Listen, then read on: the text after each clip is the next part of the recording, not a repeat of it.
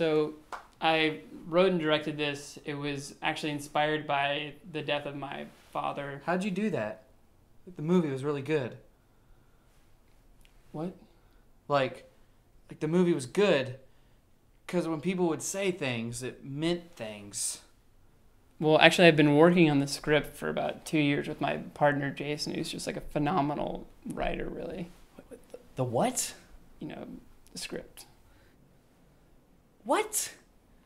And and your actors, how'd you get actors to do good? Well, you see, they're actually they're all really great local actors, and I know nothing of making movies. I've wasted all my time trying to make this one, and it just. I'm a terrible filmmaker. don't say that. This is it's really hard making a film. You know, this is actually my third. But I have a great taste in movies. I don't respect you, filmmaker. I'm jealous of you and I hate you. That's right. I'm gonna start a blog. Oh my god, you guys. Christopher Nolan just ate a sandwich. I'm gonna write about it.